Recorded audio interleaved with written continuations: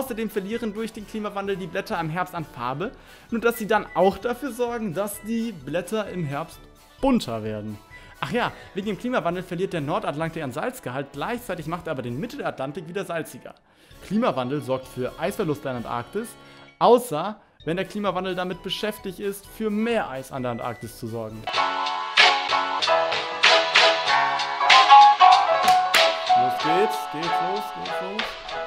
Hallo und herzlich willkommen zu einer weiteren Folge von Tiefer Forschen. Am Dienstag habe ich ein Video hochgeladen, in welchem ich Rezo gegen seine eigenen Quellen bezüglich des Klimawandels antreten lassen habe. Wenn ihr wissen wollt, wie das für Rezo ausging, schaut es euch an, Link ist in der Beschreibung.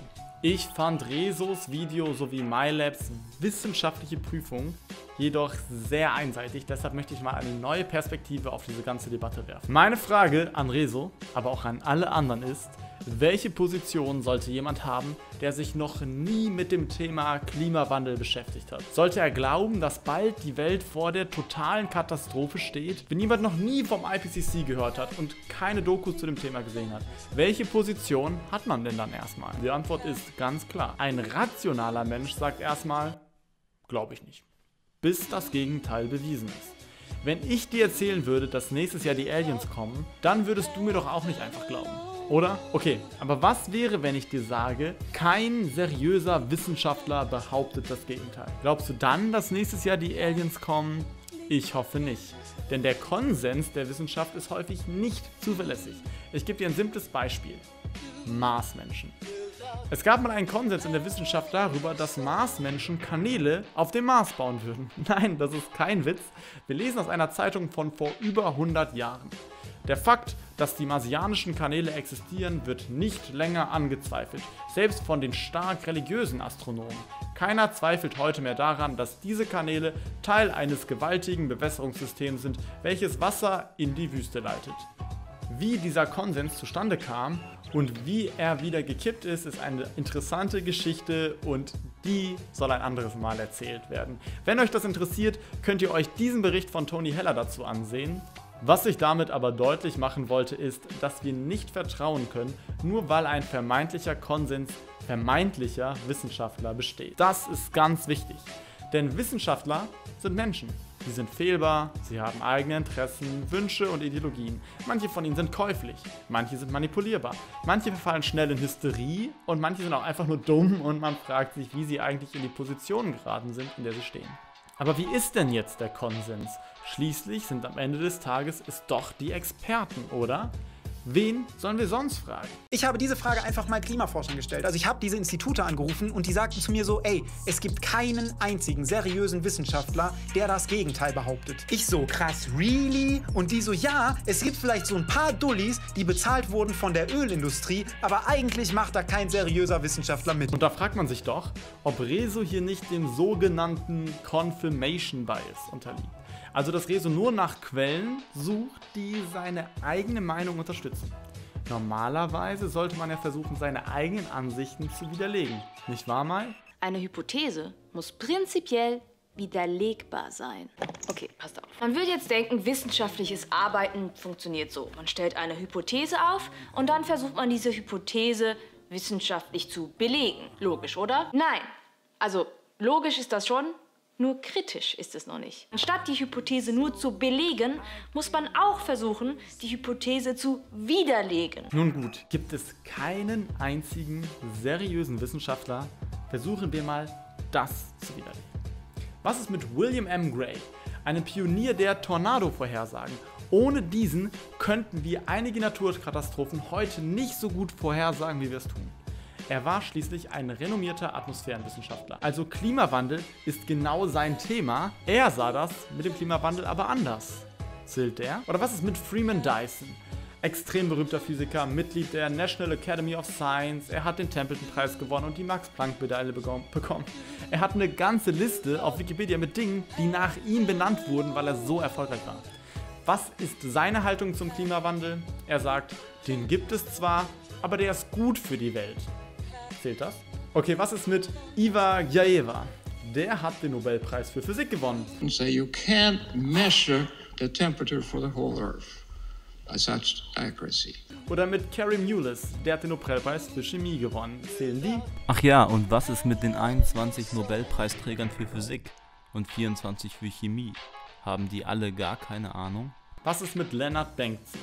Der war eine Klimawissenschaftsikone und früherer Direktor des Max-Planck-Institut für Meteorologie in Hamburg. Oder Dr. Patrick Moore, ein Mitgründer von Greenpeace. Oder was ist mit den 49 Wissenschaftler und Astronauten der NASA, die die Version des IPCC anzweifeln?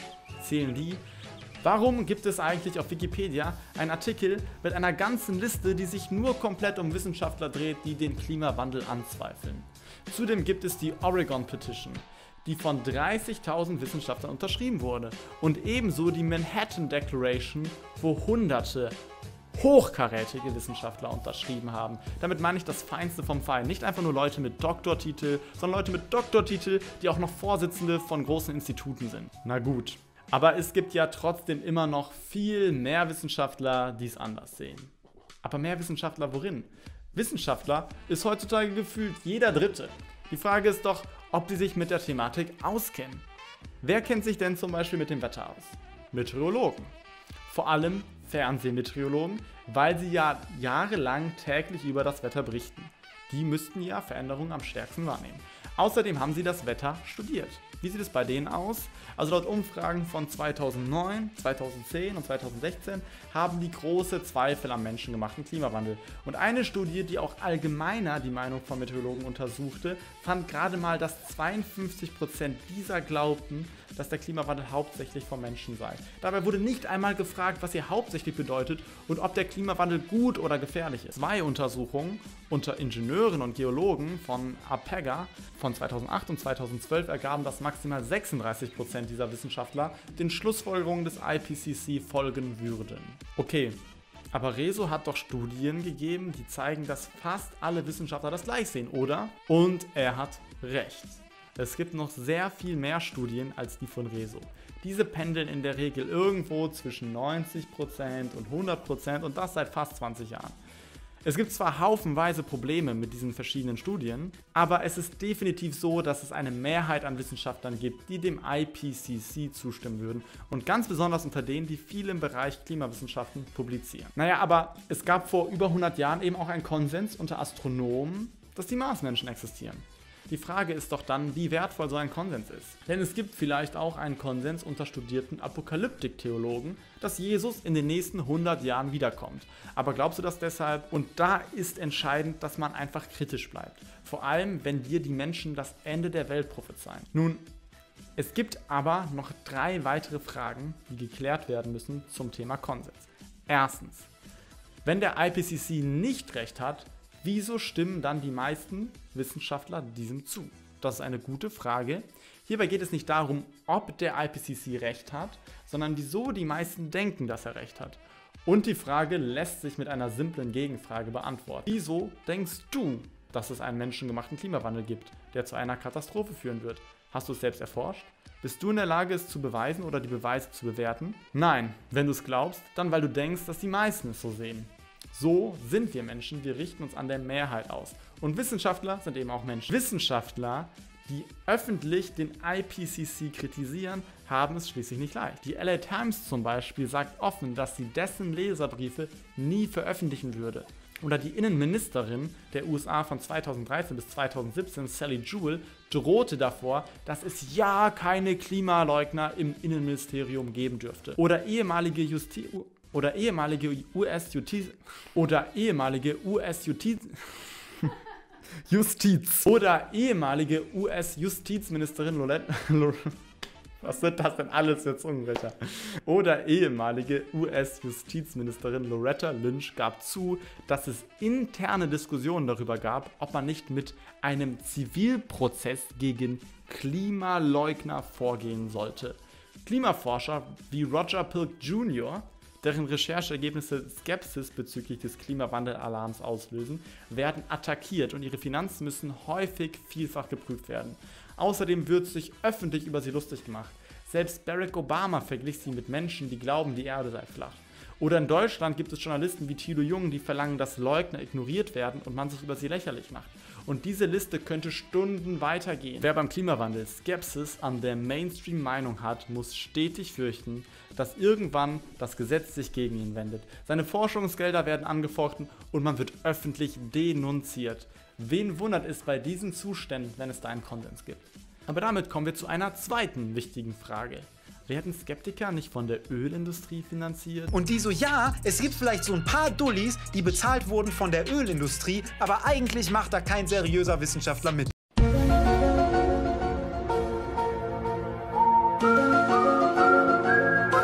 Diese Verschwörungstheorie ist sehr beliebt. Vor einiger Zeit wurde mal eine Studie veröffentlicht, die zu dem Ergebnis kam, dass die Skeptiker jedes Jahr eine Milliarde Dollar von der Öllobby bekommen würden.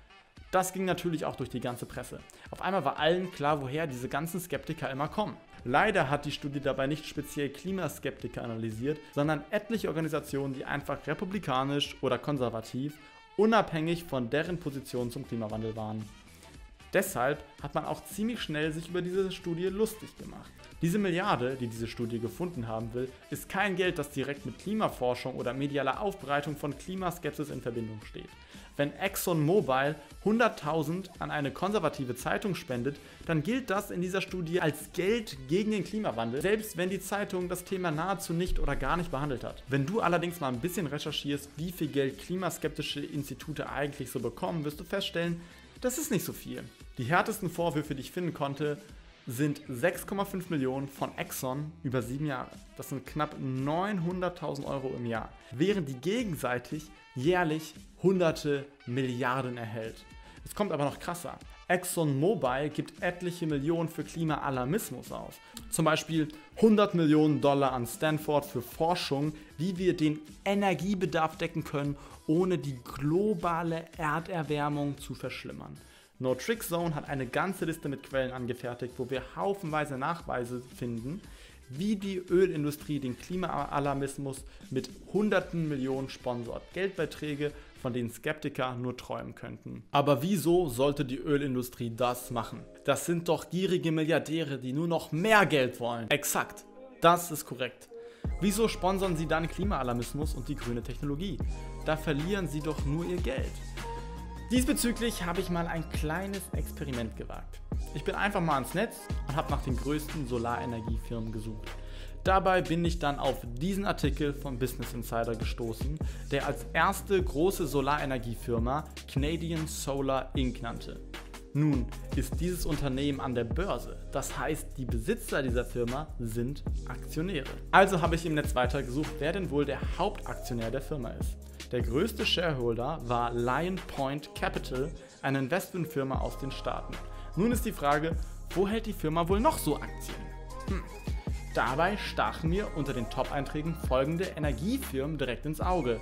PDC Energy Corp, SPDR and SP und Production ETF. Das waren die drei Top-Energiefirmen, an denen Lion Point Capital noch Aktien hält.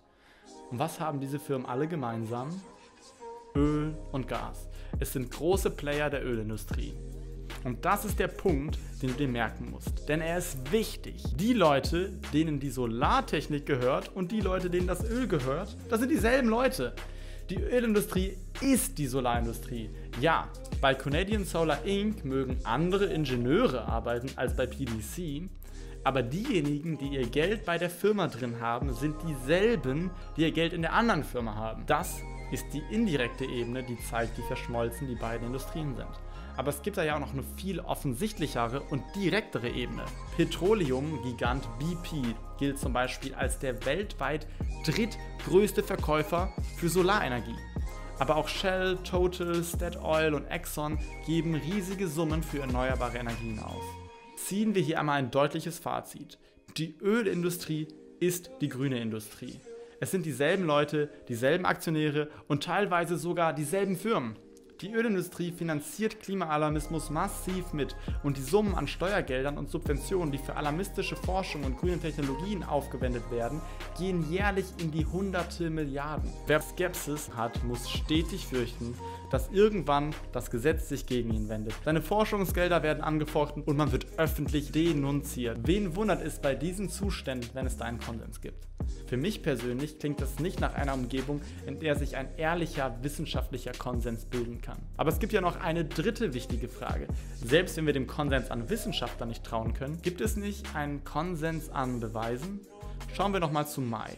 Sie hat noch eine andere Form von Konsens im Sinn. Hier geht es nicht um Meinung. Das ist hier keine demokratische Abstimmung. Scientific consensus is not like a vote that we took in a room where people raised hands. It's a consensus of all the evidence, not of the scientists, which is a common misconception about scientific consensus. And I actually I don't like when people are like 99% of scientists agree. Like that's not what consensus is. It's not a poll. It's the confluence of all the evidence. Mai sieht die Cook-Studie, die auch Reso nennt, als ein Konsens an Beweismitteln. Die meisten Beweise sprechen laut Mai für den Klimawandel.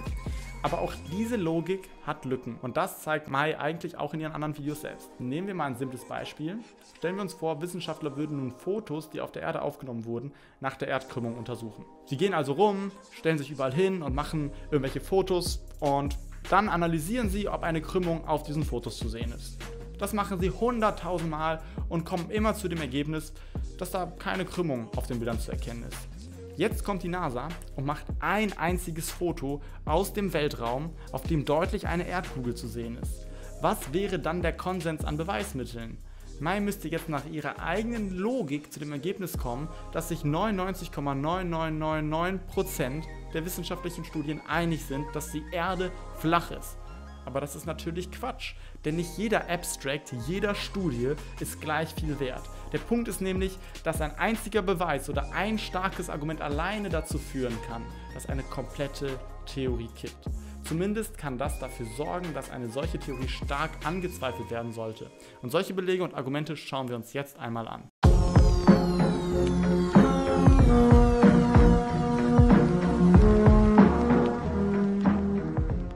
Als erstes gehen wir dafür noch einmal zu Mais Video.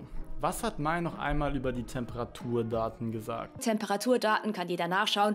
Rezo hat es verlinkt. Ich habe auch noch mal was in der Videobeschreibung verlinkt. Und Temperaturdaten, ja, da gibt es halt auch nicht so viel Interpretationsspielraum. Aber ist das so? Woher stammen denn unsere Temperaturdaten eigentlich? Nun, da gibt es verschiedene Datensets. Zum Beispiel Satelliten. Satelliten gab es natürlich in der vorindustriellen Zeit nicht. Also, wenn es heißt, All die Katastrophen kamen bisher, weil wir global durchschnittlich ein Grad wärmer geworden sind. seit der vorindustriellen Zeit sind die Satelliten nicht sehr hilfreich. Also, um zu prüfen, ob es in der vorindustriellen Zeit ein Grad wärmer geworden ist, brauchen wir natürlich ein Datenset, das dafür alt genug ist. Welche stehen uns da so zur Verfügung? Es bleiben nur direkte Temperaturmessungen von Messstationen, die dann zum Beispiel so aussehen, wie auf diesem Bild. Die sind überall auf der Welt verteilt und von denen beziehen wir dann unsere Daten rein, die die durchschnittliche globale Temperaturveränderung der Erde bestimmen. Nun, die Erde ist 510 Millionen Quadratkilometer groß. Und davon machen etwa 361 Millionen Quadratkilometer die Meere aus. Die jährlichen Temperaturunterschiede, über die wir global sprechen, liegen im Bereich der Zehntelgrade. Nun nehmen wir mal an, alle Messstationen wären auf diesem Planeten gleichmäßig verteilt.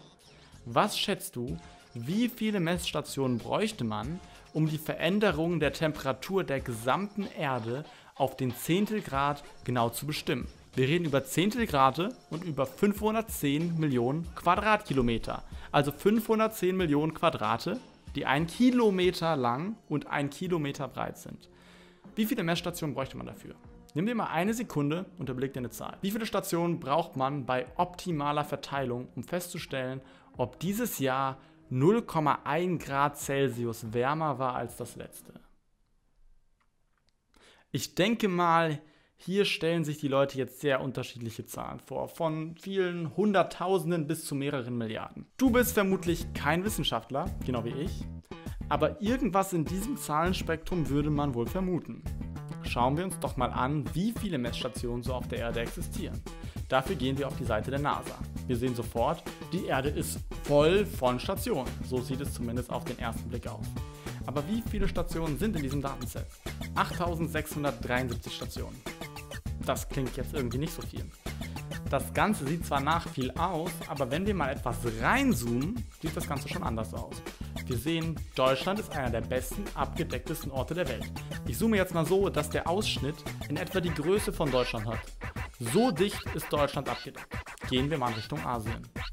Wir sehen sofort, dass wir häufig Flächen so groß wie Deutschland haben, die keine oder nur ganz wenige Stationen haben. Glaubst du, in Deutschland könnte die durchschnittliche Temperaturveränderung mit nur drei bis vier Stationen gemessen werden? Auf den Zehntelgrad genau für das ganze Land? Ich persönlich habe da meine Zweifel. Wenn wir dasselbe in Afrika machen, haben wir riesige Flächen komplett ohne irgendeine Station. Das finde ich etwas schwierig. Wie wird das denn so genau gemessen? Aber probieren wir hier mal noch eine weitere Sache. Das sind jetzt ja nur die Messstationen, die es im Mai 2019 gibt. Aber schauen wir uns doch mal für den berühmten Startpunkt an, wie das aussieht. Es soll seit 1880 ein Grad wärmer geworden sein. Wie viele Messstationen haben wir von dem Jahr denn im Datenset? Wir wählen diese entsprechenden Einstellungen aus und siehe da, 549 Stationen. Sind die denn jetzt gleichmäßig verteilt? Mm, ne. Nahezu alle in Europa und den USA. Tja, das ist jetzt doch ein bisschen schwierig. Die USA gilt als eines der Länder mit den besten und längsten Wetteraufzeichnungen. SurfaceStations.org hatte sich zur Aufgabe gemacht, die Messstationen der USA zu untersuchen. Dabei untersuchten sie 82% aller Stationen in den USA. Ihre Ergebnisse veröffentlichten sie 2011 in einer Studie im Journal of Geophysical Research. Diese kam zu dem Ergebnis, dass 91,5% der Stationen eine Fehlerquote von größer gleich einem Grad haben. 64,4% größer gleich 2 Grad. Das heißt, selbst noch im Jahr 2011, in einem der besten abgedeckten Länder der Welt, haben 90% der Stationen eine Messfehlerquote, die höher als ein Grad ist. Da fragt man sich schon, wie man denn auf einen Grad genau die Temperaturveränderung der Erde seit 1880 berechnen konnte, wenn selbst heute unsere besten Daten immer noch mehr als einen Grad Fehler machen. Was hat Mai dazu nochmal gesagt? Und Temperaturdaten, ja, da gibt es halt auch nicht so viel Interpretationsspielraum. Ich muss sagen, Mai, ich widerspreche dir. Ich denke, hier gibt es eine ganze Menge Interpretationsspielraum. Aber du könntest ja mal ein Video machen und erklären, wie denn auf den Zehntelgrad genau die Temperatursteigerung von einem Grad seit 1880 gemessen wurde. Ich spoilere euch mal kurz. Gar nicht, es sind Rechenmodelle. Es gibt keine Messdaten, die diese Temperaturveränderungen belegen. Es sind reine Modelle. Und das Problem ist, selbst den allermeisten Wissenschaftlern, mit denen ich mich unterhalte oder von denen ich mir Vorträge zu diesem Thema anhöre, scheint dies nicht bewusst zu sein. Der berühmte eine Grad seit der vorindustriellen Zeit ist keine Messung, sondern eine Schätzung. Das sollte jedem, der bei diesem Thema mitredet, erst einmal bewusst sein. Und diese Modelle sind natürlich extrem anfällig für Fehler. Das ist klar, wenn man so wenig Daten hat und es Zehntelgrade genau sein muss. Ihr kennt sicher alle diese Graphen, die den Temperaturanstieg anzeigen. Auf diesen Graphen sieht der Temperaturanstieg immer so dramatisch aus. Das liegt daran, dass realistische Fehlerquoten nicht vorhanden sind und nur der Mittelwert angezeigt wird. Ich zeige euch jetzt mal dieselbe Grafik, etwas anders dargestellt. Hier seht ihr denselben Anstieg der Temperatur von einem Grad Celsius seit 1880. Allerdings mit dem unterscheidenden Unterschied, dass auch die Maximal- und Minimaltemperaturen eingezeichnet wurden. Ihr seht also, wie stark die Temperatur auf diesem Planeten schwankt. Dieser eine Grad ist in so einer Grafik mit dem bloßen Auge nicht zu erkennen. Diese Temperaturschwankungen auf der Erde zeigen, wie schwierig es sein muss, die genaue Durchschnittstemperatur zu bestimmen. Du benötigst genau die richtige Menge an zuverlässigen Daten und die richtige Verteilung. Fakt ist, dass dies nicht gegeben ist. Dieser Graph zeigt auch, dass man mit genügend Daten die Temperatur sehr leicht in die eine oder andere Richtung manipulieren könnte. Aber was hat Mai nochmal dazu gesagt? Und Temperaturdaten, ja, da gibt es halt auch nicht so viel Interpretationsspielraum. Wenn ihr dazu einen wissenschaftlichen Vortrag hören wollt, empfehle ich den von Michael Limburg. Er geht noch viel mehr im Detail darauf ein, wie groß die Fehler in den Temperaturreihen sind. Wenn ihr euch damit noch tiefer auseinandersetzen wollt, schaut euch das auf jeden Fall einmal an. Wenn ihr etwas kürzeres und leichteres wollt, dann guckt euch das Recherchevideo von Norman Investigativ an. Der Typ ist irgendwie etwas ulkig, aber er hat in seinem Video echt gute Arbeit geleistet und zeigt speziell in Deutschland auf, wo das Problem mit den Messdaten ist. Und dann empfehle ich noch eine Präsentation von Anthony Watts, wo er noch genauer auf die Qualität einzelner Messstationen eingeht. Das Problem geht aber noch viel weitreichender, als dass diese Temperaturdaten unzuverlässig sind. Die Temperaturdaten werden auch im Nachhinein verändert. Dies wird dann Temperature Adjustment genannt, beziehungsweise zu Deutsch als Temperaturkorrektur. Diese Temperaturkorrekturen sind verdächtig. Schauen wir uns zum Beispiel einmal an, wie 1999 die US-Temperaturkurve aussah. Und dann schauen wir uns einmal die US-Temperaturkurve im Jahr 2016 an. Die Quellen stammen beide direkt von der Seite der NASA. Schaut euch die Graphen genau an. Achtet auf die Jahre 1940 und 2000. Fällt euch was auf? Die Temperatur um 1935 war in der ersten Version deutlich höher als die Temperatur um 2000 herum, in der zweiten Version aber nicht mehr. Sie wurde im Nachhinein korrigiert. Als wäre der NASA im Nachhinein aufgefallen, dass es in den 30er Jahren gar nicht so heiß war, wie sie zuerst gedacht haben. Hm, Ergibt das Sinn? Also, The Bulletin vom 25. Juli 1936 berichtete aber was anderes. Dort wurde berichtet, dass Hitzewellen in den USA 12.000 Menschen das Leben gekostet habe. Und der Queenslander am 16. Juli 1936 berichtete von der schlimmsten Dürre der Geschichte in der USA. Ich will hier niemandem was unterstellen, aber komisch ist das schon. Nun wurde eine solche Anpassung nicht nur einmal vorgenommen. Ein Research Report aus dem Jahr 2017 kam zu dem Ergebnis, dass dies systematisch passiere. Korrekturen würden grundsätzlich die Vergangenheit kühlen und die Gegenwart wärmen. Dieser Bericht ist auf massive Kritik gestoßen. Mir selbst fällt es schwer, hier ein Urteil zu fällen, wer dabei im Recht ist und wer nicht, keine Ahnung. Doch macht es diese Datensets noch weiter verdächtig. Wir sehen also, dass diese Zahlen und Graphen eben doch Interpretationsspielraum haben. Nur die wenigsten scheinen sich überhaupt Gedanken zu machen, wo die Temperaturdaten herstammen. Ich recherchiere nun schon seit vielen Wochen und Monaten zu dieser Frage und ich finde darauf für mich keine zufriedenstellende Antwort. Wenn du mir erklären kannst, wieso wir doch diesen Temperaturanomaliekurven trauen können, dann schreib es mir doch bitte in die Kommentare. Und Mai und Rezo, wenn ihr darauf eine vernünftige Antwort geben könnt, bitte macht doch ein Video dazu. Ich bin gerne bereit, meine Meinung zu dem Thema zu verändern, wenn entsprechende Argumente folgen. Nun magst du vielleicht sagen, Moment, Warum sind diese Temperaturdaten denn überhaupt so wichtig? Ob es jetzt ein Grad oder ein halber Grad ist, spielt doch keine wirkliche Rolle. Wir sehen doch, dass die Pole schmelzen und all diese schlimmen Dinge passieren. Wir müssen doch was dagegen tun. Dieser Gedanke mag für manche im ersten Moment Sinn ergeben, doch übersieht er eine entscheidende Tatsache. Was wir tun können, hängt stark von diesen Kurven ab. Wenn wir der Kurve nicht trauen können, können wir auch keine Korrelation mit CO2 ausmachen. Wenn wir keine Korrelation mit CO2 haben, können wir auch keinen Kausalzusammenhang von CO2 und Temperatur herstellen. Wenn wir keinen Kausalzusammenhang haben, ist es sehr wahrscheinlich, dass unsere Emissionen überhaupt keine Rolle spielen. Das ist das, was ich eben meinte. Wenn nur dieses eine Standbein fällt, dann fällt die gesamte Theorie. Nun kommt aber Mai zur Rettung. Und womit? mit Eiskernbohrungen. Mai erzählt uns, dass wir durch Eiskernbohrungen in die Vergangenheit sehen könnten und dadurch wüssten, dass CO2 höher sei als in den letzten 800.000 Jahren, sowie dass wir eine Verbindung zwischen CO2 und Temperatur erkennen könnten. Nun, weil das Thema den Rahmen von diesem Video sprengt, habe ich ein extra Video dazu gedreht. Findet ihr in der Beschreibung, falls euch die Thematik genauer interessiert. Fakt ist jedoch, dass man das nicht so einfach sagen kann. Definitiv ermöglichen Eiskernbohrungen keinen Blick in die Vergangenheit. Das ist unwissenschaftliches Wuhu. Wir versuchen mit Eiskernbohrungen die Vergangenheit zurück zu konstruieren. Dabei gibt es haufenweise Probleme und außerdem gibt es andere Arten, wie wir versuchen CO2 zurück zu konstruieren, wobei es zu ganz anderen Ergebnissen kommt. Diese Zahlen sind in der Wissenschaft also umstritten. Aber wie gesagt, ich habe dazu ein eigenes Video gemacht. Wenn euch das interessiert, klickt auf den Link in der Beschreibung. Aber wie ist diese große wissenschaftliche Debatte im IPCC vertreten? Scheinbar nahezu gar nicht. Bei meiner Recherche konnte ich vom IPCC nahezu gar keinen Bezug zu diesem Thema finden. Das IPCC hält schlicht an den Eiskerndaten fest. Die haufenweisen Studien aus bekannten Journalen und mehreren Doktorarbeiten zu dem Thema scheinen beim IPCC einfach vorbeigegangen zu sein. Und da Maya lediglich auf das IPCC vertraut, scheint dies auch an ihr vorbeigegangen zu sein.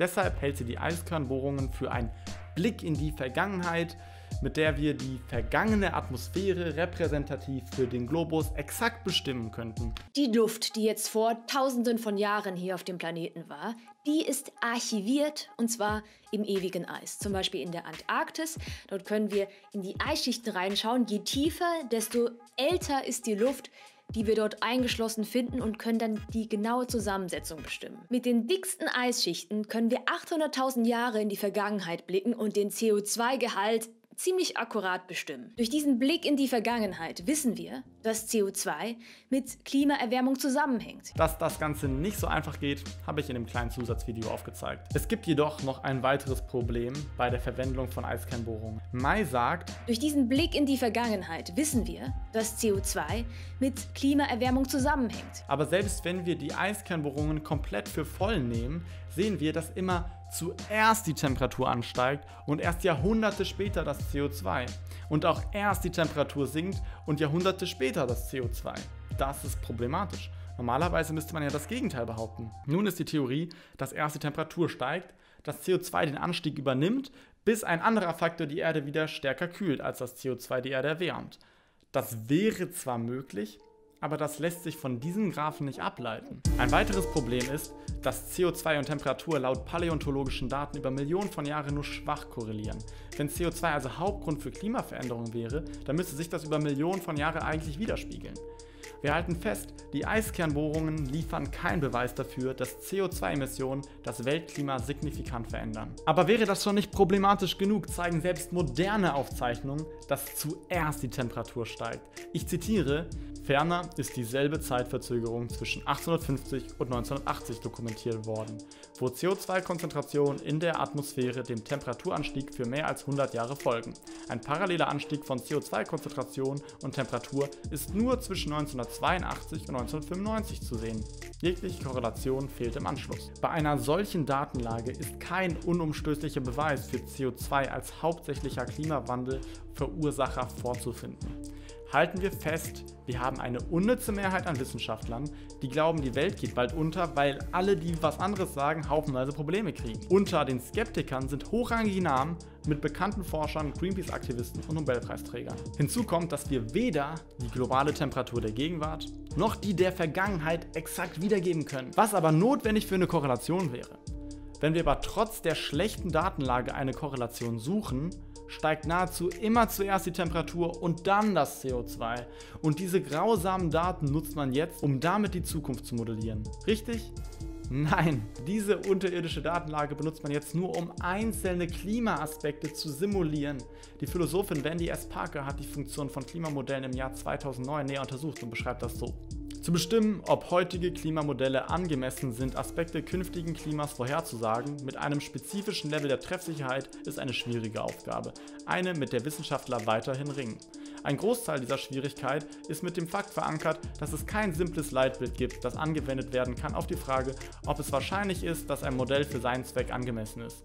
Trotzdem drücken Wissenschaftler beachtliches Selbstvertrauen aus, dass heutige Klimamodelle plausible, quantitative Anhaltspunkte für einige Mengenvariablen geben können, wie zum Beispiel die Veränderung der Oberflächentemperatur unter verschiedenen Emissionsszenarien. Ein Problem bei Klimamodellen bleibt schließlich bis heute, dass sie einen Großteil des komplexen Klimas einfach außen vor lassen. Etliche Aspekte außer CO2 CO2 und Temperatur werden schlichtweg eingefroren oder komplett geraten. Denn schließlich fehlen uns haufenweise Daten über alle möglichen Aspekte des Klimas, die die Modelle deshalb auch nicht wiedergeben können, wie zum Beispiel Wolken.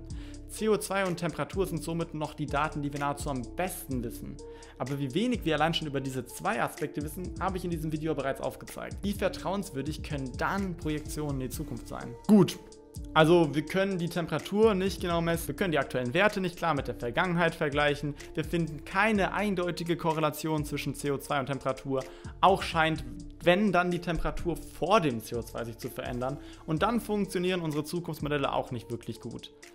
Aber angenommen, das alles wäre anders.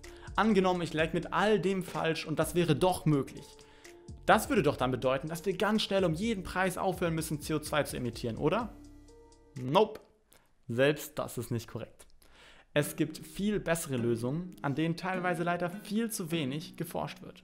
Zum Beispiel das altbekannte Nutzen von Landwirtschaft für Negativemissionen. Negativemissionen? Pflanzen können das CO2 aus der Luft in komplexere kohlenstoffhaltige Moleküle umwandeln. Zucker, Stärke, Fette. Wir essen diese kohlenstoffhaltigen Verbindungen und wandeln sie um. Und wir atmen CO2 wieder aus. Das können die Pflanzen dann wieder aufnehmen und so schließt sich der Kohlenstoffkreislauf. Jetzt ist CO2 aber auch ein Treibhausgas. Und das Problem ist, dass wir das schon lange nicht mehr nur ausatmen, sondern durch Industrie und Co.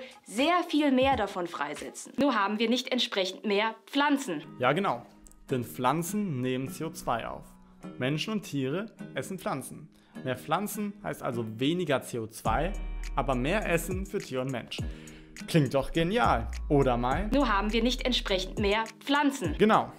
Deshalb gibt es bestimmt haufenweise Forschung zu diesem Thema. Richtig? Na, nicht ganz.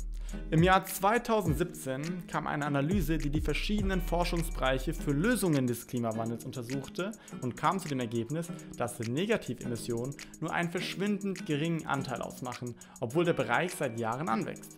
Die Autoren schlussfolgern, dass der Anteil in der Literatur viel zu gering für das Potenzial dieser Lösung. So gab es zum Beispiel bereits 2015 eine Studie, die aufzeigte, dass Negativemissionen den Klimawandel eventuell umkehren könnten, selbst wenn das 2-Grad-Ziel durch Senkung der Emissionen nicht erreicht werden würde. Zwar rät die Studie von einer solchen Hauptstrategie ab, da sie dies für riskant hält, zeigt diese Möglichkeit jedoch trotzdem auf. Dieses Jahr kam eine Studie zu dem Ergebnis, dass das Anpflanzen von Wäldern, ich zitiere, die effektivste Lösung, die uns zur Verfügung steht, um den Klimawandel zu entschärfen sei. Davon berichten uns Rezo und Mai aber leider gar nicht. Dabei ist es so intuitiv, dass es Mai selbst gesagt hat. Mehr Pflanzen. Aber das ist nicht die einzige Lösung. Ein weiterer Ansatz ist das sogenannte Geoengineering. Ich bin da jetzt kein Fan von, aber trotzdem ist dies sollte sich der Klimawandel als wahr herausstellen, eine sehr viel schnellere und billigere Lösung. Letztes Jahr kam eine Studie heraus, die berechnete, dass wir kühlende Chemikalien mit Flugzeugen in die Atmosphäre pusten können und das Ganze etwa 15 Jahre dauern und 36 Milliarden kosten würde. Also etwa 10% vom Jahresbudget des deutschen Staates. Also mit anderen Worten, Deutschland ist in der Lage, den Klimawandel für die ganze Welt aufzuhalten mit nur 10% des Jahresbudgets. Offensichtlich ist Klimawandel das größte Problem auf diesem Planeten und wir werden alle bald sterben, wenn wir keine CO2-Steuer einführen. Weißt du, was komisch aussieht? Was denn? Du. Das war auf jeden Fall ein guter Witz. Danke. Wir sind hier aber noch lang nicht fertig. Denn wie Rezo und Mais eigene Quellen immer wieder aufzeigen, sind all diese Probleme nahezu ausschließlich Probleme für Menschen, die in armen Ländern leben. Wohlhabende Länder können sich gegen Klimakrisen einfach sehr leicht wehren. Wenn es zum Beispiel warm ist, macht man die Klimaanlage an und wenn es kalt ist, die Heizung.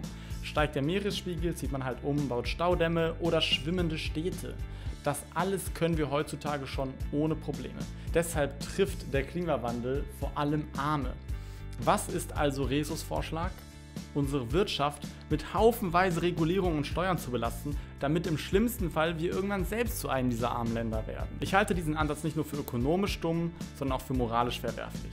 Würde all das mit dem Klimawandel stimmen, darf unsere Lösung nicht heißen, wie können wir den Klimawandel aufhalten, sondern wie kriegen wir so schnell wie möglich den Rest der Welt aus der Armut raus? Und das so schnell wie möglich. Welche Fortschritte wir da bereits gemacht haben, da gehe ich gleich noch drauf ein. Erstmal muss hier ein simpler ökonomischer Fakt klar benannt werden. Marktwirtschaft die größte einzelne Kraft die Länder aus der Armut. So kam Europa und Nordamerika zu Wohlstand, sowie Hongkong oder Singapur. Kapitalismus hat 800 Millionen Menschen in China aus der Armut geholt. Freiere Märkte haben Afrika schon stark geholfen. Und das ist auch der Grund, warum es den marktwirtschaftlich freisten Ländern immer am besten geht. Mit anderen Worten, wenn das mit dem Klimawandel alles so wahr wäre, dann wäre der Lösungsansatz Nummer 1 weg mit dem Marxismus und der Planwirtschaft in Afrika und her mit freien Märkten. So schützen wir diese Welt am besten. Und sollte der Klimawandel nicht so kommen wie geplant, haben wir trotzdem etwas Gutes getan und etliche Menschen aus dem Elend befreit. Das ist noch nicht alles. Selbst wenn diese alternativen Lösungen nicht funktionieren würden und der einzige Weg es wäre, von Kohle, Öl und Gas sofort abzulassen, würde das trotzdem nichts bringen. Deutschland hat die CO2-Emissionen pro Kopf in den letzten 50 Jahren von 12,4 auf 8,88 Tonnen gesenkt, also fast um ein Drittel, während die Emissionen der Welt jährlich steigen. Das heißt, selbst wenn Deutschland irgendwann das Null-Emissionen-Ziel erreicht, bringt das herzlich wenig. Denn wie Mai selbst schon so schön sagte, Denn Klima kennt halt keine Ländergrenzen. ist natürlich schwierig, wenn wir hier in Deutschland alle Hebel drehen und alles in Bewegung setzen, aber es die entscheidenden Teile der Welt nicht weiter interessiert. Okay, bevor ich zum letzten und sehr entscheidenden Teil dieses Videos komme, möchte ich noch einmal die bisherigen Erkenntnisse zusammenfassen. Wir können weder die globale Durchschnittstemperaturveränderung bestimmen, noch können wir sagen, dass unsere CO2-Werte historisch auf einem bedenklichen Niveau sind, da die Eiskerndaten höchstwahrscheinlich nicht zuverlässig sind. Aber selbst wenn alle unsere Daten so stimmen würden, scheint CO2 immer der Temperatur zu erfolgen und nicht umgekehrt, sogar in modernen Aufzeichnungen. Aber selbst wenn das alles korrekt wäre, heißt das nicht, dass es Nur eine legitime Einstellung. gäbe, da es immer noch haufenweise Alternativen gäbe, um den Klimawandel zu verhindern und nebenbei Milliarden Menschen zu verbessern. Während die Vorschläge, die Rese und Mai geben, nicht nur zu einem gefährlichen Wachstum der Staatsgewalt führen würden, sondern so oder so niemals funktionieren können, da selbst wenn wir die Emissionsziele erreichen, diese Welt trotzdem weiter ansteigen und wir damit die Krise nicht aufhalten würden. Unsere Wirtschaft aber möglicherweise zerstört haben, wodurch uns der Klimawandel dann wirklich treffen könnte, denn er trifft ja nur die Länder mit schwacher Wirtschaft. Oder noch kürzer auf den Punkt gebracht, alles, was Rezo und Mai in ihrem Video zum Klimawandel gesagt haben, ist nicht nur lausig recherchiert, es ist auch dämlich und widersprüchlich. Aber ich bin noch nicht fertig, Freunde. Denn jetzt werde ich noch den Klimaalarmismus widerlegen und das mit Mais eigenen Worten. Eine Hypothese muss prinzipiell widerlegbar sein. Okay, passt auf. Man würde jetzt denken, wissenschaftliches Arbeiten funktioniert so. Man stellt eine Hypothese auf und dann versucht man diese Hypothese wissenschaftlich zu belegen. Logisch, oder? Nein. Also, logisch ist das schon, nur kritisch ist es noch nicht. Anstatt die Hypothese nur zu belegen, muss man auch versuchen, die Hypothese zu widerlegen. Für die Hypothese, der Weihnachtsmann existiert, gibt es viele Belege, wie zum Beispiel die Geschenke unterm Weihnachtsbaum oder die vielen Bilder und Geschichten. Solange wir nur Belege suchen, geht die Hypothese auf. Erst wenn wir versuchen, die Hypothese zu widerlegen, indem man den Weihnachtsbaum heimlich beobachtet die ganze Nacht, um zu sehen, wer da wirklich die Geschenke drunter legt, erst dann haben wir die Hypothese wissenschaftlich geprüft. Das bedeutet, eine haltbare Hypothese muss nicht nur belegbar sein, sondern sie muss auch Widerlegungsversuchen standhalten. So, gleichzeitig gilt jetzt aber, wenn eine Hypothese gar nicht widerlegt werden kann, also wenn es gar keine Experimente oder Tests gibt, mit denen man diese Hypothese sinnvollerweise widerlegen könnte, dann ist es eine unwissenschaftliche Annahme. Okay, da frage ich mich jetzt, was ist eigentlich mit der Annahme, dass es einen menschengemachten Klimawandel gibt, der katastrophale Auswirkungen haben wird? Wie widerlegt man diese Hypothese? Oder ist das unwissenschaftlich? Schauen wir uns diese Theorie nochmal genauer an. Der Klimawandel sorgt laut Medien für kürzere Winter in den USA und für härtere Winter in den USA. Er sorgt für weniger Schnee in den Alpen, außer wenn er zu einem Rekordwachstum von Schnee in den Alpen führt.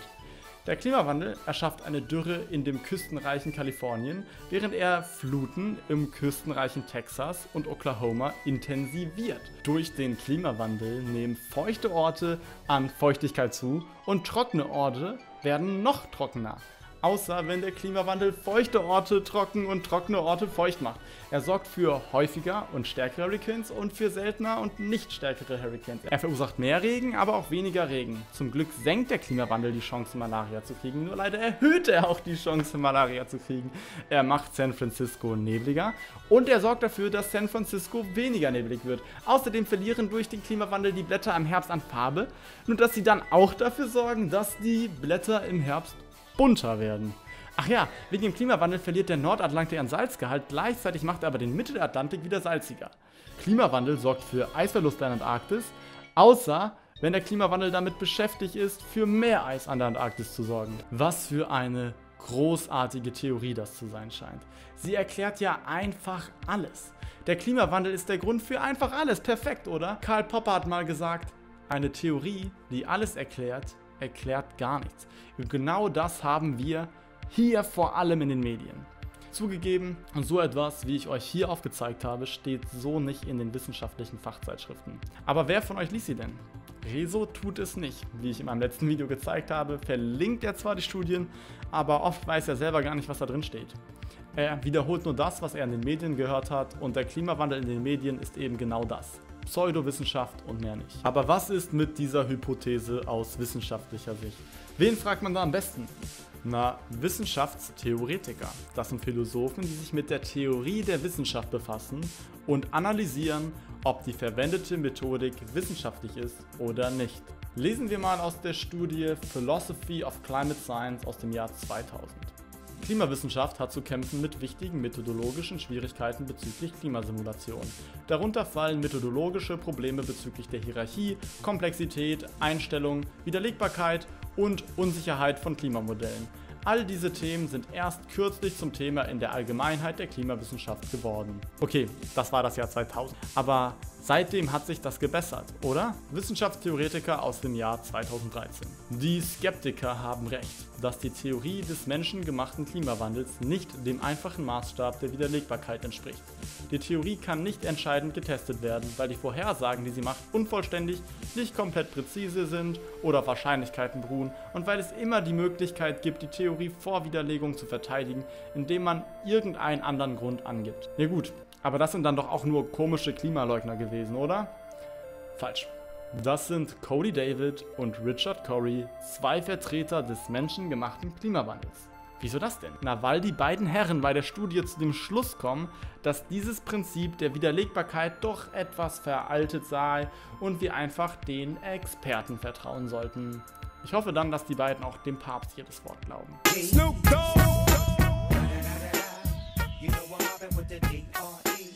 Also die Experten aus der Philosophie sagen, menschengemachter Klimawandel ist prinzipiell nicht widerlegbar. Was sagen denn Experten aus anderen Bereichen? Dr. Julia Hargreaves zum Beispiel, Astrophysikerin sowie Harald Lesch und forscht nebenbei bei Japan Science and Technology Agency im Bereich globale Klimaerwärmung seit 2013. Was schreibt die Dame dazu? Verbesserungen in der Modellauflösung haben für räumlich besser aufgelöste, aber nicht unbedingt zutreffendere Vorhersagen geführt. Und die subkontinentale Leistungen bleiben schwach. Während die Vorhersage von Klimavariationen auf Jahrzehnte hin theoretisch möglich scheinen, gibt es wenig Ergebnisse, die einen nützlichen Grad der Fähigkeit aufzeigen. Gut, gut, gut. Wie wäre es denn mal mit einer Person, die selbst lange Zeit an Klimamodellierungen gearbeitet hat und selbst für NASA und NOAA gearbeitet hat? Die wäre dann ja schließlich eine Expertin. 2011 schrieb Judith Curry in Nullifying the Climate Null Hypothesis. Die Diskussion der Null-Hypothese hat aufgezeigt, welche Verschwommenheit die eigentliche Hypothese des gefährlichen Klimawandels umgibt, sowie dessen Widerlegbarkeit. Die zentralen wissenschaftlichen Streitfragen sind der relativ wichtige menschliche Anteil und die natürliche Variabilität und ob ein wärmeres Klima zu Veränderungen führt, die eher als gefährlich eingestuft werden würden. Diese Probleme sind schlecht dafür geeignet, um eine Nullhypothese zu testen, während die vorrangigen Fragen sich um die Größe von den Effekten und einem bedeutsamen mechanischen Verständnis sowie Modellvorhersagen drehen. Das klingt jetzt ein bisschen kompliziert und verschachtelt, aber mit anderen Worten, wir können diese These nicht wirklich testen und wir müssen erst einmal hinbekommen, dass unsere Modelle besser und unser Verständnis vom Klima etwas vollständiger werden.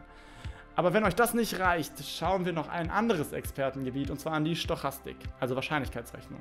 Dimitri Kautousianis ist Professor für hydraulische Stochastik in Athen und veröffentlichte 2008 ein Paper mit dem Namen On the Credibility of Climate Predictions. Was sagt er uns?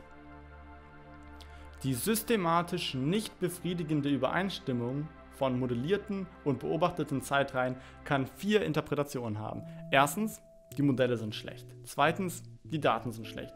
Drittens, modellierte und beobachtete Zeitreihen lassen sich nicht miteinander vergleichen. Viertens, Berechnungen und Vergleiche sind falsch. Die letzte Möglichkeit kann nicht prinzipiell ausgeschlossen werden, aber alle benutzten Datenreihen, Modelle und Beobachtungen sind im Internet zugänglich, mögliche Fehler werden daher auffallen. Aus diesen Gründen glauben wir, dass Möglichkeit 1 zutrifft. Dass die Modelle intrinsisch und vielleicht auch unausweichlich schlecht sind, ist die plausibelste Erklärung. Im selben Jahr schrieb er noch in einem anderen Paper, Die großen negativen Wirkungsgrade der Leistungskraft bei diesen Skalen zeigt, dass die Modellvorhersagen viel schlechter sind als eine grundlegende Vorhersage, die auf Zeitdurchschnitten beruht. Dies macht zukünftige Klimavorhersagen nicht vertrauenswürdig. Wir haben jetzt also mehrere Philosophen, eine Astrophysikerin, eine Klimamodelliererin und einen Stochastiker, die alle in wissenschaftlichen Fachzeitschriften publiziert haben und aufzeigen, dass der gefährliche menschengemachte Klimawandel entweder nicht prinzipiell widerlegbar ist oder auf nicht vertrauenswürdigen Computermodellen basiert. Gut, das sagen jetzt bestimmte Experten, aber genug Fachchinesisch benutzen wir zum Schluss von diesem Video doch einfach gesunden Menschenverstand. Was sind denn so die Kernvorhersagen, die die Alarmisten treffen? Wenn sich die bereits im Ansatz erfüllt haben, dann haben wir ja immerhin schon einen Grund anzunehmen, dass sie recht haben. Wenn sich ihre Kernvorhersagen nicht erfüllen, dann können wir die Theorie auch verwerfen. Denn was ist eine Theorie wert, die Vorhersagen macht, die dann aber gar nicht in Erfüllung treten?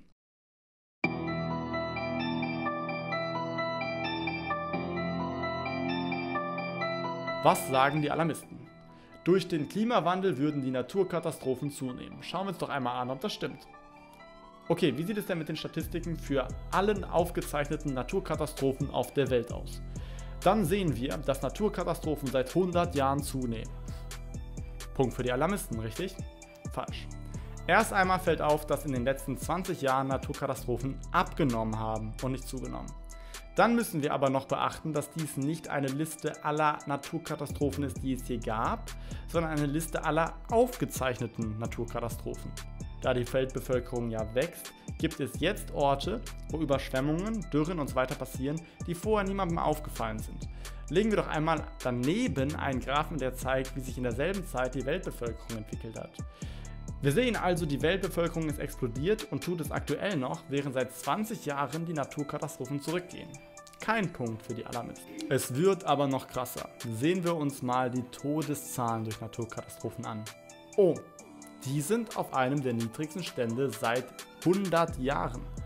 Und auch hier ist der Bevölkerungswachstum noch nicht mit einberechnet worden. Aber schauen wir doch mal, was so extrem in den letzten 50 Jahren zugenommen hat. Überschwemmungen, Dürren, Extremwetter.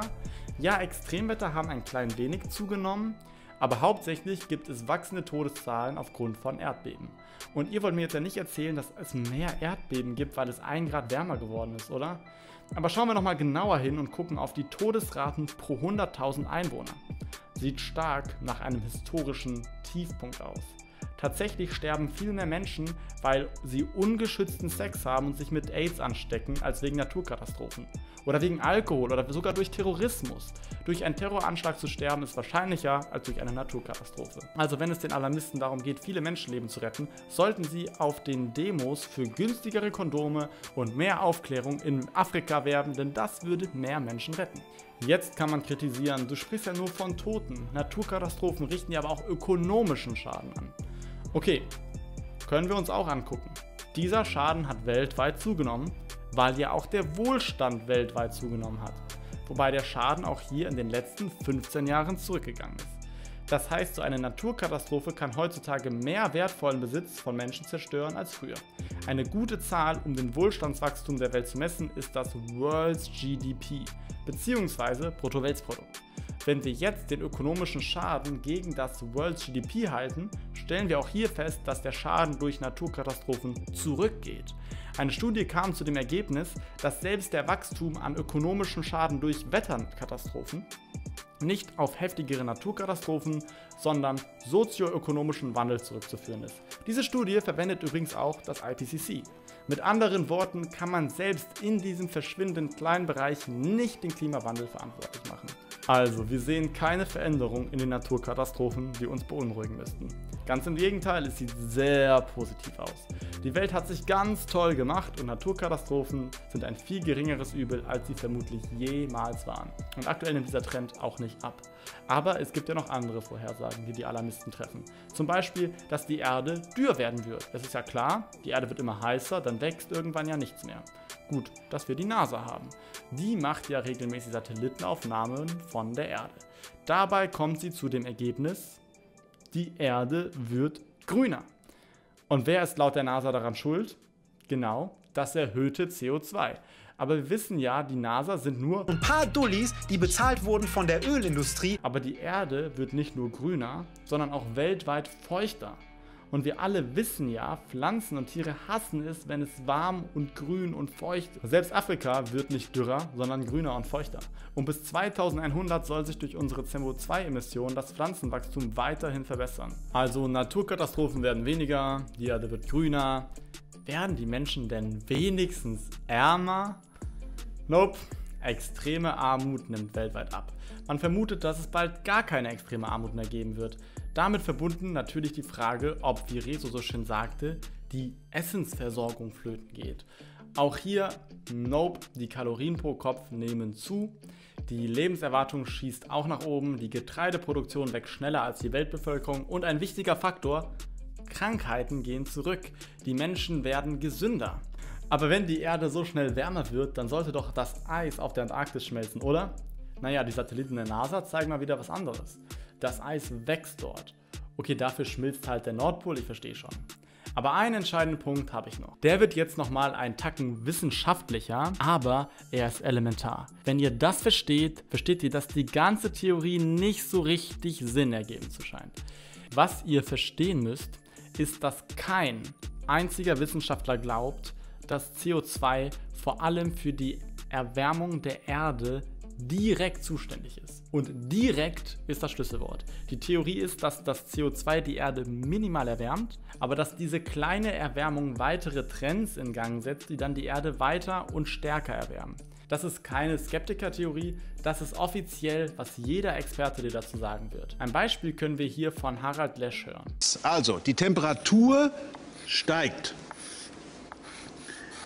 Dann steigt auch, das ist quasi die Folgerung, die Verdunstungsrate. Wenn die Verdunstungsrate auch steigt, dann steigt auch der Wassergehalt, H2O-Gehalt. Wenn der in der Atmosphäre steigt, dann steigt auch wieder die Temperatur. Schöner hätte ich es nicht ausdrücken können. Das war von Anfang an die Theorie und das sieht nicht nur Lesch so. Das IPCC schreibt selbst, Wasserdampf ist das häufigste und wichtigste Treibhausgas in der Atmosphäre. Allerdings haben Menschen nur einen kleinen direkten Einfluss auf atmosphärischen Wasserdampf. Klar, der Einfluss ist eben indirekt durch das CO2. Das CO2 erhöht die Temperatur und die erhöhte Temperatur erhöht den Wasserdampf in der Atmosphäre. 2008 wurde im Annual Review das so ausgedrückt. Die Hauptrückkopplungen im Klimasystem sind gut bekannt. Zum Beispiel positives Strahlungsantrieb wie durch einen erhöhten CO2-Trend führt zu erhöhten Temperaturen, welcher den Wasserdampf ansteigen lässt, welcher wiederum eine Perturbation in der absinkenden Langwellenstrahlung produziert, das den wärmenden Effekt weiter verstärkt. Selbst in Nature wurde dieser Effekt schon 1989 beschrieben. Also ich habe mir das nicht ausgedacht. Von Anfang an war das die Theorie. CO2 erwärmt die Erde nur minimal und das erhöht dann den Wasserdampfgehalt in der Atmosphäre und dann kommt die richtig schlimme Erwärmung. Hier haben wir also genau das, was Mai will. Etwas Widerlegbares. Wenn die Theorie stimmt, dann nimmt auch der Wassergehalt in der Atmosphäre zu. Wenn der Wassergehalt der Atmosphäre nicht zunimmt, dann stimmt auch die Theorie nicht. Schauen wir mal, wie es mit dem Wasserdampf in der Atmosphäre aussieht. Hm. Wir sehen, der Wasserdampf hat auf allen Ebenen leicht abgenommen oder ist konstant geblieben. Das ist schwierig. Mai sagt ja, eine Theorie muss prinzipiell widerlegbar sein.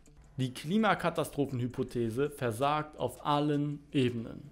Der Wasserdampf in der Atmosphäre nimmt nicht zu. Das Eis auf der Arktis aber schon. Die Menschen werden seltener krank, Lebenserwartung geht hoch, genauso wie die Kalorien pro Kopf und die Getreideproduktion. Extreme Armut ist am Aussterben, die Erde wird grüner und Tote sowie finanzielle Schäden durch Naturkatastrophen nehmen konstant ab. Auf jeder Ebene, wo diese Theorie zu testen ist, fällt sie durch. Jetzt ist die Frage, ob Mai weiterhin daran festhalten wird. Sie sagt ja schließlich selbst. Ach, und das ist die schwierigste von allen Regeln, nämlich hänge nicht so sehr an deiner persönlichen Hypothese. Kritisches Denken bedeutet, dass sich deine Meinung jederzeit ändern kann, je mehr du über etwas weißt. Kritisches Denken verlangt eine offene und geradezu demütige Einstellung. Informiert euch, wenn es geht, über alle Argumente aller Standpunkte und widersteht der Versuchung, euch mit eurem eigenen Standpunkt mehr auseinanderzusetzen als mit anderen. Denn je mehr ihr euch, je intensiver ihr euch mit den Gegenargumenten beschäftigt, desto schärfer wird auch euer kritisches Denken. Also nochmal drittens, hänge nicht so sehr an deiner persönlichen Hypothese. Das hat Mai in einem sehr guten Video gesagt mit dem Titel Die Kunst, Bullshit zu erkennen. Das Video ist wirklich sehr, sehr gut. Guckt euch das unbedingt an und hört genau zu. Jetzt frage ich mich nur, ob Mai ihr eigenes Video ernst nehmen wird und ob sie eine offene Haltung haben wird. Hinterfragt sie ihre eigene Meinung, versucht sie zu widerlegen oder folgt sie einfach nur, was das IPCC und Rezo sagen? Kann sie für sich selbst denken, ihr könnt ihr dieses Video ja mal schicken. Vielleicht liege ich ja auch in all den Punkten falsch. Ich bin jedenfalls bereit, meine Meinung zu ändern und das kann ich ehrlich sagen. Ich werde weiterhin forschen und versuchen, meine skeptische Haltung zu widerlegen. Ich möchte gegen Ende festhalten, dass diese Welt vor einer riesigen Anzahl an Problemen steht. Die gilt es zu bewältigen. Die Meere werden mit Plastik zugemüllt. Wir haben haufenweise Flüchtlinge, die nicht wegen dem Klima flüchten. Wir haben ein Social Credit System in China und immer größer werdende Überwachungsstaaten. Das Konfliktpotenzial in Europa nimmt wieder zu. Arten sterben aus, nicht wegen dem Klimawandel, sondern wegen wachsenden Städten und echter Umweltverschmutzung. Und die Liste an Herausforderungen könnte ich noch stundenlang weiterführen. Nur ein Problem würde dabei nie auftauchen. CO2. Unsere CO2-Emissionen korrelieren mit steigender Lebenserwartung. Das heißt, je mehr CO2 wir in der Vergangenheit ausgestoßen haben, desto länger lebten die Menschen. CO2 ist also wirklich böse. Oder die Menschen, die CO2 hassen, hassen einfach Menschen. In der Geschichte der Erde ist die Menschheit nichts. Wenn alles schief läuft, werden wir nichts anderes sein als ein kurzer Parasitenbefall oder eine kurze Grippe, von der sich die Erde auch schon erholen wird in paar Millionen Jahren. Nein, das war natürlich nur ein Witz von der lieben Mai. Das hoffe ich zumindest. Ähm, aber kleinen Kindern zu erzählen, Menschen seien nur Parasiten, halte ich auch in der Form eines Witzes für unangebracht. Denn ist das wirklich das Menschen- und Weltbild, das wir unseren Kindern vermitteln wollen? Freunde, bitte passt auf euer Weltbild auf. Menschen sind keine Parasiten, Menschen sind wertvoll. Und bitte, bitte, bitte, bitte, bitte nehmt Menschen mit solchen Weltbildern nicht ernst. Denn eventuell halten sie euch nicht für wertvoll, sondern für Parasiten.